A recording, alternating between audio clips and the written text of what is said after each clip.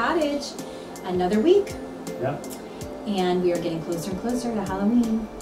Uh, this week, we are tackling a, a few projects that are, it's kind of our fine details week.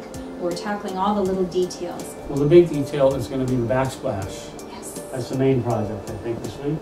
We are finishing the brick. Um, I'm sure you're sick of seeing all the brick everywhere. We are not obsessed with brick. We're going for a certain look. We want it to give the impression of an exposed brick.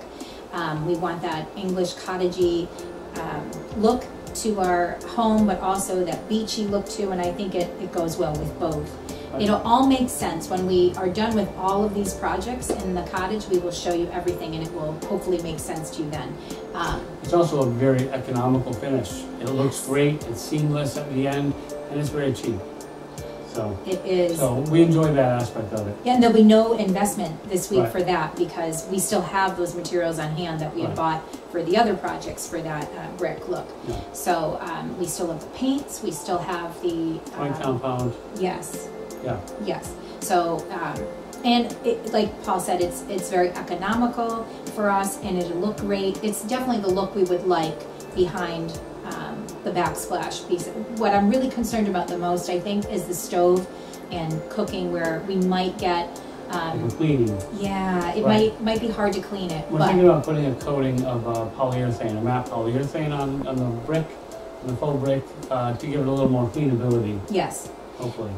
But for now, um, in another year or two, the thing is, this really was no cost. So in a year or two, if it's like, ooh, that's just not working out, even with that coating on it, we can always change it, or at least right behind the stove, and We'll see, if we want to upgrade, you're if, if we want to. Right. Uh, but we're excited about it. So yes, more brick, and yes, even after that, there's even more. We're going to be doing that even in the basement at some point. So you may be bricked out by then, but um, believe me, there is a reason for it. We really want it to look like it was original to the home, the best we can. So that is the big project. Yeah. But then it's the fine details. Um, for now, we really want to give the kitchen as much of a finished look as possible. We have so much more to do in the kitchen, but um, we're going to start with uh, the doorknobs. Um, Right. And we're going to have like a nice matte black, um, more modern, uh, farmhousey uh, doorknob. Um, and the hinges to match. So we instead of that brass look, we tried to spray paint them years ago, so it had that black painted look to it. It's not the same, and it does Wear wear. It really does, and it just looks terrible. So um, we're going to be getting new doorknobs and new hinges. Uh, new switches and outlets as Yes. well. We've got the old, um, the beige ones that were original to the house, and with the, uh, the brick, they stand out. They're, they're really old, they look dingy, so we put some nice white outlets and switches on there. Yes, So It- that's another project. yeah, it'll it'll look cleaner and, and more with the kitchen. Fresher, yeah. it'll look fresher. It'll it'll look right with the kitchen. Yeah. So, and it, we just want to update it. And sometimes that's the best way to do things with um, your budget. Like, where do I put the money in? It's really like paint, uh, wall techniques, um, the little details like doorknobs and hinges and light switch covers and uh, all that kind of stuff, or even accessories here and there. That Yeah. really changes the look for a very cheap out. cost. Yeah. Yes, and sometimes free, which is great.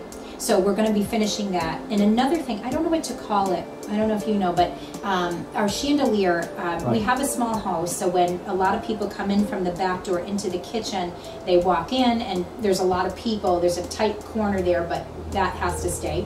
But when we they come in, they hit their head on one of the chandeliers. And we It do hangs have, a little lower, but yeah, we do have actually pretty decent size height. oh, we have good ceilings. We do. The chandelier's hanging a little low, and also it's not centered over our table. Yeah. So we're going to, um, We centered it more to the room. Well, the builder did, yeah, they put it right in the center, one on each end of the kitchen.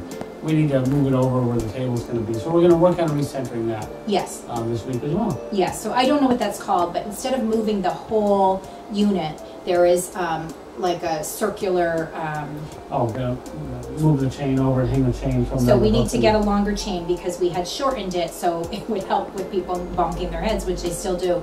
But, so we'll have an- a longer chain, and then there's a unit to attach it that goes onto the ceiling, and then a little hook where it'll hook on. So it'll give you that right over, centered over the thing, and it's kind of a neat look to it. I, I've always liked that. Um, under the cabinets, we are there's a the kick plate under there. We have like this faux wood um, kick plate design, and it just it doesn't go right with the rest of the look in the kitchen. So we're going to be painting that as well. Nothing super exciting, but it'll it'll Yeah. really be noticed for us, and, and we'll show you. It'll make a difference. Especially when the kitchen is totally done, we'll have the black and whites, uh, in the kitchen, will be, with the black highlights, mostly white with some black highlights. Yeah, So, and that'll go along with that, so it'll look nice. in the end, it'll really match, it'll tie all together. It will. Yeah, So that's what our plan is for this week.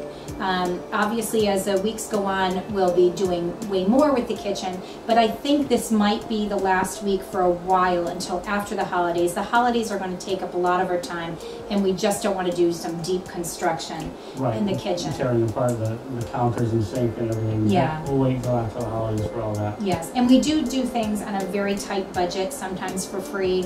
Um, but so unless something presents itself where it's like, gee, we can't miss this deal, let's put this new cabinet in or this new um, sink in, or because we do intend on doing that and even changing out one of the windows over the sink. A lot of that is a, maybe a bigger budget, much Right. bigger budget than we would have liked before the holidays. We want to start focusing on shopping and buying Christmas, presents, yeah. Christmas. So because of that, um, we're going to be putting that on hold until after the holidays. But it probably will be our big concern after the holidays when we've cleaned everything up and gotten back to um, getting rid of the Christmas decor and all that. We'll be getting back to our regular house decor. Then Yeah. at that time, we'll be ready to start again. And we also want to save our energy for the holidays. Right. So, um, because of that, we'll be probably probably this will be the last week for now, and then we'll be focusing on other rooms and other things. So, that's it for this week. The adventure continues. It's always an adventure here um, at Brambleberry Cottage. Um, but yes, the, you're right. It continues indeed. So, thank you for joining us, Absolutely. and uh, come see what we've got this week.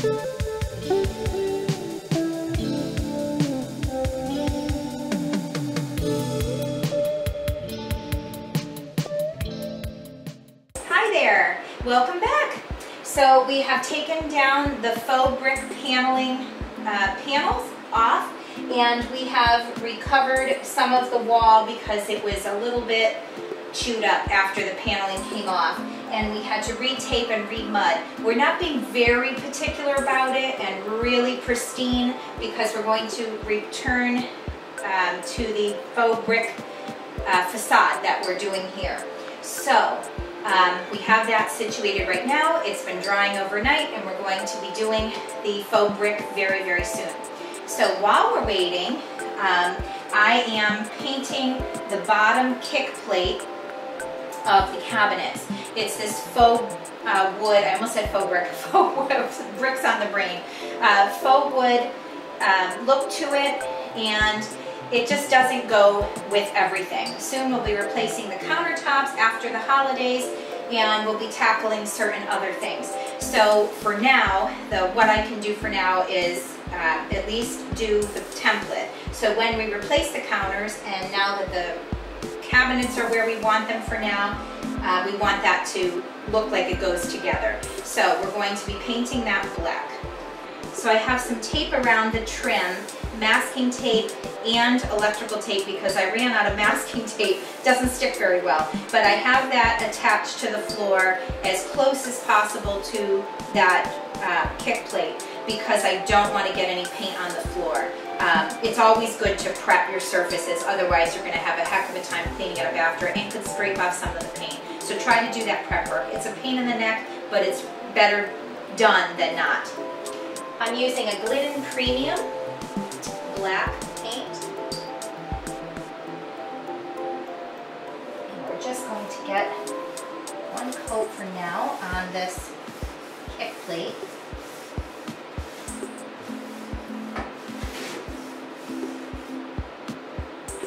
So much better. You don't notice it as much um, when you're not thinking about it, but when it's done, it'll make sense.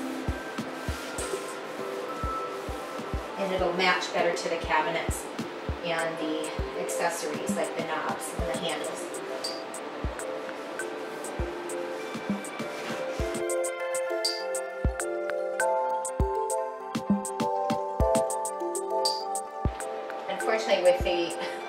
Electrical tape, because it's also black, it, I'm gonna have to really pay attention not to get it on the floor.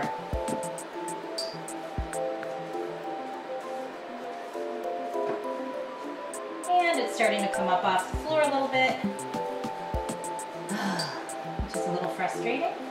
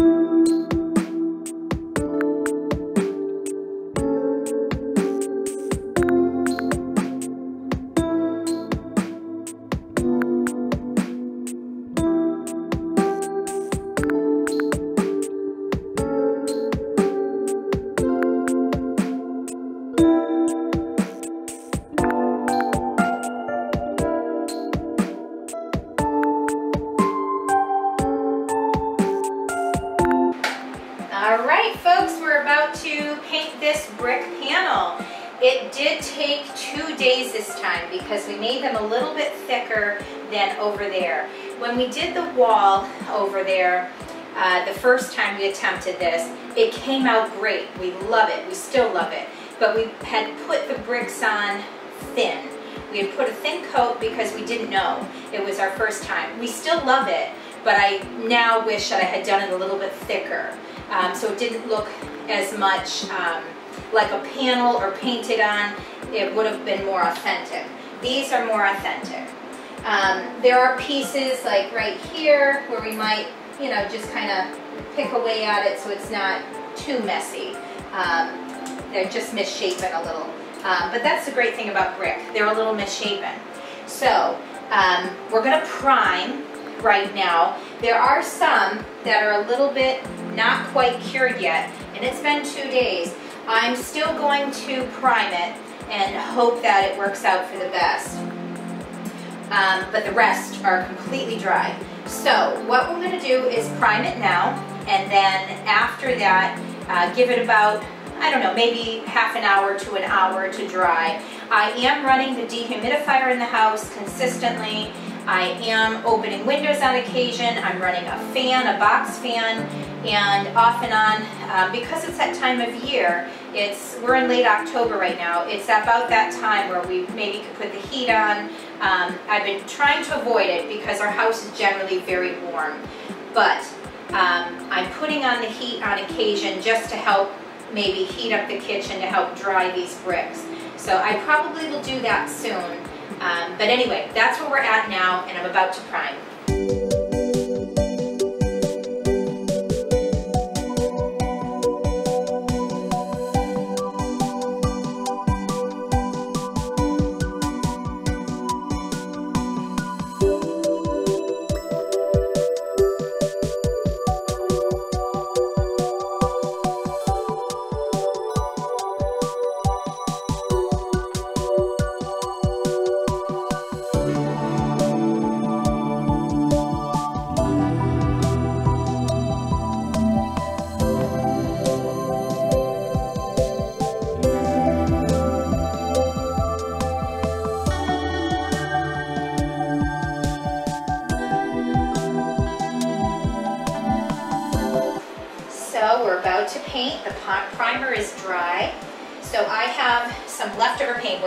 Very end. I really like to use that paint as much as possible within, you know, within a couple years, um, sooner sometimes, um, just because it starts to get really icky after a while. These are still all good, but we have a little bit of brown. Um, and for the brown, I'm using a Royal uh, dark brown. Royal is a brand, dark brown. I have, these are all interior paints. I have the Behr Paint and Primer. It's a gray. Um, I'm trying to remember the name of this one. Um, I don't know. It's a dark gray of some kind. Um, and then I have the Glidden Premium, and it's a, uh, it's just black. Okay, so we're gonna try that. We're gonna try these colors and get this moving.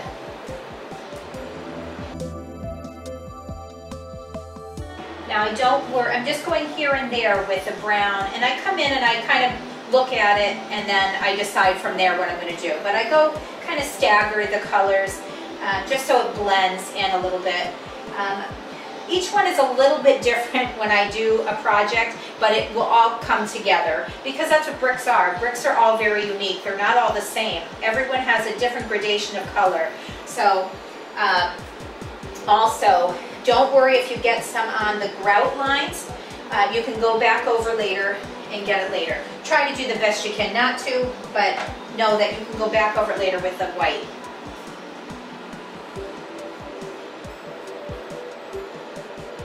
I'm making quite a mess because this brush has seen its, its last project with this brush. It's starting to get kind of feathered out. So by doing that, with this brush, it's getting a lot onto the grout, but I'll go over and touch them up later.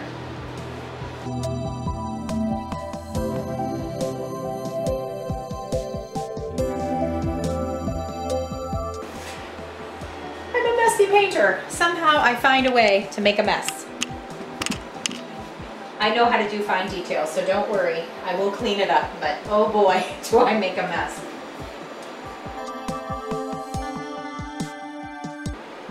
The kind of brush for fine details.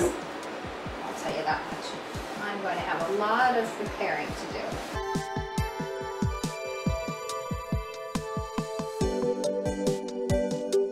I'm going to come in with gray next. Oh boy, I'm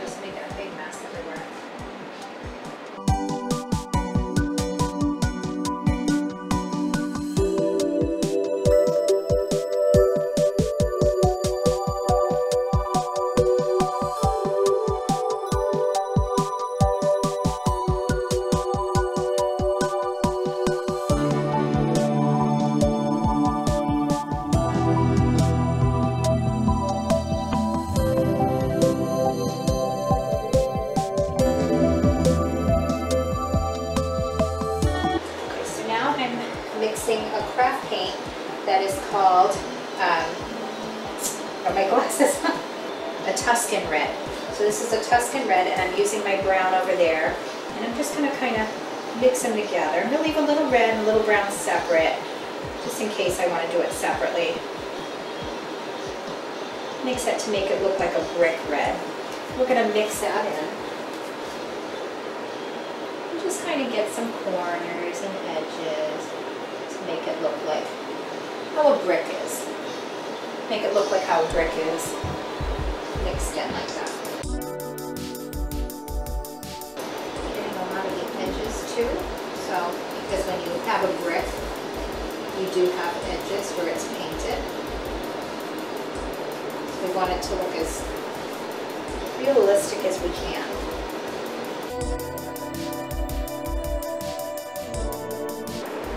I'm using an artist brush for the details, just because I, first of all, these paintbrushes made a huge mess. I will be cleaning up the grout. But also, um, you, with the finer details, you want to have a smaller brush, because you're just kind of making little stippling, you're trying to kind of blot in uh, that reddish color, so it looks more authentic.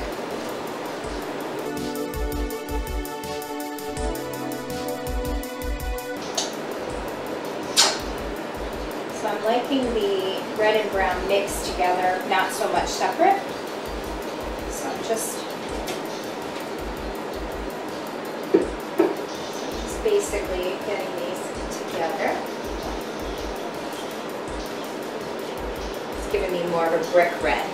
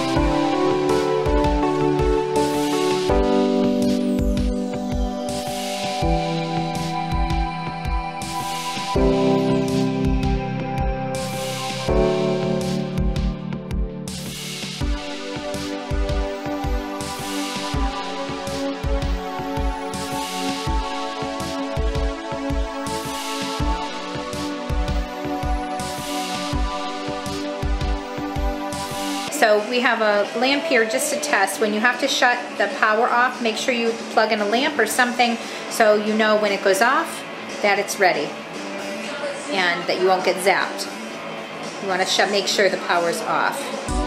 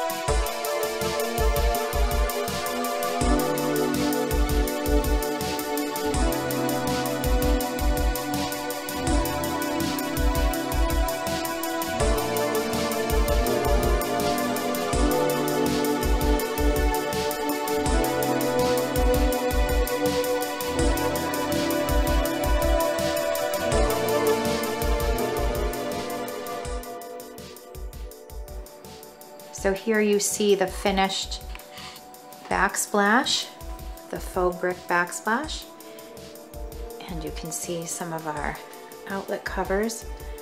We have some more to finish as we thought we had some on hand, some more, and we didn't. So we need to get some more. We'll show it by next week, but by the time we were finishing up this video, we didn't have time. So next week we will show that, the rest of the outlet covers, and we will show you the light we intended on doing. Um, up here, we wanted to move, um, have a chain and a mount up here so that that would be centered with this table. It didn't quite happen as it really got very, very busy. So that is why there. But we did do the, here the kick plate at the bottom. And that worked out really nicely. And we have our backsplash and some of the outlet covers done. So for now, this is where we're at in the kitchen. We will show you a brief thing next week of the chandelier being centered over the table, the rest of the switch plates, and the doorknobs and hinges that we didn't get to do for the pantry door and for our basement door in the kitchen that leads to the basement. We didn't get to finish those as this brick um, facade here, backsplash took up way longer than we thought it would. Um, because we put it on thicker, the bricks, it took quite a few days for it to dry and we just got caught up in everything. And then budget didn't quite allow. So next week we'll be finishing off those and we're also, we'll show you a quick thing of that next week and we're also going to show you uh, our next project next week, which is very exciting and affordable. Hi there. Hello. We wanted to thank you for watching our videos here on Brambleberry Cottage. We're having a lot of fun doing this. We really are. We hope you're enjoying watching them as well. If you are, please hit the like button. And above all, subscribe. That would be awesome. We'd love to have you a part of our Brambleberry Cottage family. Also, you can hit the bell in the little corner there where it's, it's a notification bell. So if you don't ever want to miss a video, you'll get a little notification when we have the next one up and you won't miss us. We hope that you're enjoying watching our videos. We hope that you'll come along and join us for the journey and uh, be a part of our gang. Thanks for watching. Thanks for watching.